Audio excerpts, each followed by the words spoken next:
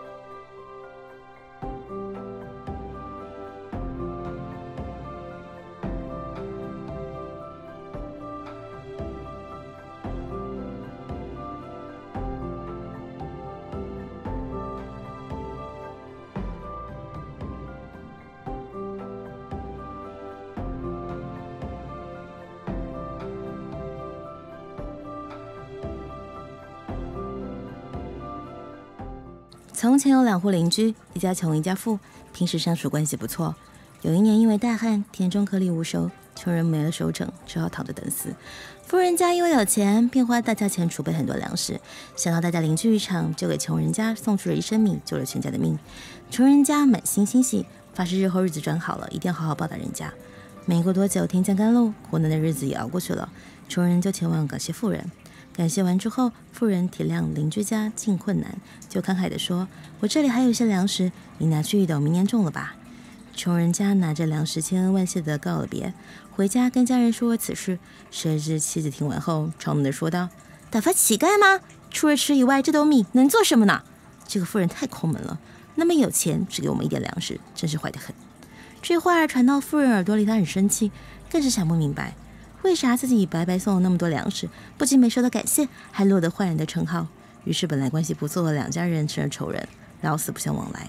这就是斗米养恩，担米养仇的故事。小恩养贵人，大恩养仇人。与人为善，这是这个道理。你敢好的毫无底线，别人讲话敢坏的肆无忌惮，一味的不加辨别的给予，只会助长他人的贪欲，毫无保留的付出，只会惯坏别人的得寸进尺，饲养出恩将仇报的白眼狼。就像电影《教父》中所说，没有边界的心软，只会让对方得寸进尺；毫无原则的人质，只会让对方为所欲为。不要以为农夫与蛇的故事离我们很远，生活中不乏这样像蛇一样以怨报德的人。他们没有良知，没有道德，心中只有利益，凡事只做利于自己的事情，一切也只为自己。说白了就是自私自利。你对他的好，一不小心就变成他伤害你的利刃。遇到这样不懂感恩、忘恩负义的人，就赶紧收起自己的善良，因为他们根本不配。善良没有对错，但用错对象可就惹麻烦了。轻则损失钱财，重则丢了性命。所以你的善良需要点锋芒，好心要留给知恩图报的人，真心要留给有情有义的人。再巧妙的缘分也经不起敷衍搪塞，再深厚的感情也怕理所当然。世上从没有无缘无故的爱，也没有平白无故的付出。学会感恩，懂得施恩于人，才能享受到生活的快乐；懂得珍惜真心，才值得被宠爱。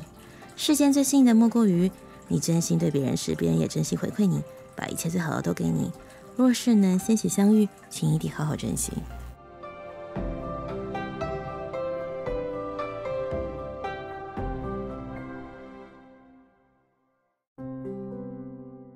我有一个无聊的小故事，也许你有听过，也许你没听过。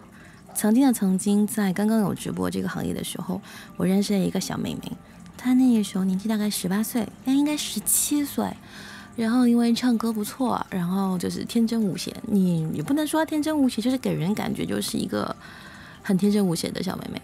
那时候遇到了一个很厉害的刷客，然后就噼啪疯狂的刷他。不停的刷，不停的刷，就在那个时候蜂拥直上，算是爆红吧。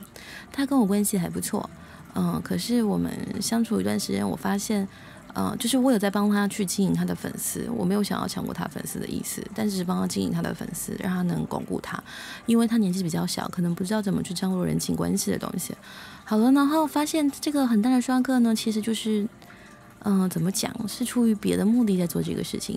我觉得对于一个小女人来说并不太好，所以隔了很长一段时间，这个刷客就不刷他了。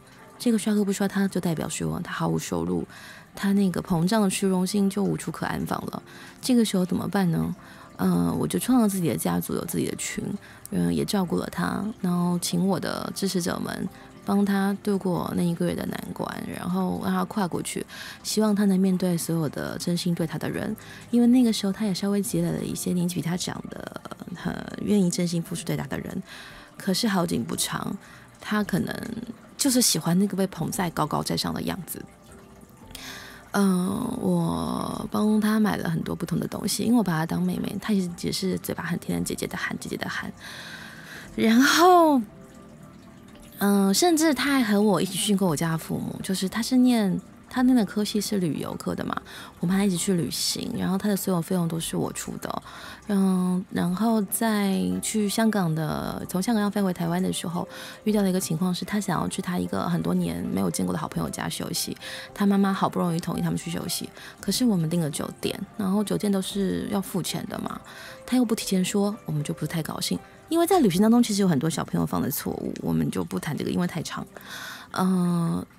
这个事情就是东窗事发的开始，因为他跟他的朋友就是住，所以他们是他的朋友送他们去机场。那我们就是就是用不同的从不同的地方去前往机场。那因为机场太大，所以我错过的航班，我没有打到那班飞机。我无奈重新买了机票去飞下一班飞机，大约到凌晨三点多才到达台湾。可能他呢，大概十一点多就降落台湾了。他觉得我们是故意放生他。所以才没有跟他打飞机，可是，在飞机上我们根本就无法联络对方。然后隔天他就发来长长的信，然后斥责了一切所有的东西，还说我们对他都不好了，我们要就是反正就是分分道扬镳的意思的。然后这个事情还不打紧，但是在后面写的内容真的让我非常的心寒，因为他就是一副理所当然的，就是那种没有知恩图报的状态。虽然我们愿意花钱在他身上，只是因为他是小孩子，也希望他能有正面的部分，就是有出于很多的原因，那是我们自愿没错。但是他发这样子，我就不高兴了。在我原来个性，我就 po 在 FB 上。其实如果你现在去翻，其实还翻得到，很多年、很多很多年前，在我的粉丝专页上。然后他的这一票就开始说。我们不要脸，放着一个未成年，居然未成年放那儿他在机场，然后都不送他去机场，还是我们开车送他去机场，什么什么什么之类的。哇，那个时候我就反驳特别的激烈，机票是我买，酒店是我订的，差这一路大半个月旅行都是我出钱的，我都没吭声，你吭什么声？你没有花过一毛钱，你只是你只是送他去机场，怎么了？而且去跟你住是他要求的，又不是我们送去的，为什么把什么责任都推给我？当然，我们现在已经没有联络了。就是从那个时候，我们就断绝了所有的联络。当然，我看到他还是非常的不顺眼。现在不会，但之前刚发生的两年真的非常的不顺眼。其实，真心换绝情，真的就是这样。我真的没有在他身上想要谋求任何的目的，但是他身边就有很多猪嗯呃狐朋狗友，或者是说他就是喜欢这样的狐朋狗友人捧着他，他觉得很满意。现在他已经成年了，他会不会为自己的事情负责？我不知道。但是我们应该为自己的事情负责。我们应该知道什么叫知恩图报。嗯，没有人是必须为你做什么的，所以我们一直很努力的为大家，就是我一直很努力的去陪伴大家。嗯，我也不知道我的陪伴到底会不会让大家高兴还是快乐，但是最起码我知道。我会努力的去做这些事情，跟阅读更多不同的文章，还有就是希望日子能过得越来越好，也希望大家能过得越来越好。嗯，为什么呢？因为我其实有最近跟罗偶尔会聊起，会觉得说我我我最近活得有点慌乱的感觉，因为。我还是坚持努力去做我该做的事情，可是公司的变动对我来说久了确实会是一些很大的压力，因为它的变动会导致我们，比如说没有人流量，我们的收入就更不用想了，就基本上是零收入的佛系开台。但是还是很谢谢大家愿意去做月缴的动作，然后来支持我们，因为积少可以成多，它也是一笔小小的零花钱，所以特别谢谢还在月缴的人。呃，反正一切一切，我们都努力吧。谢谢大家，希望今天的分享对你有帮助。那么明天就再见啦。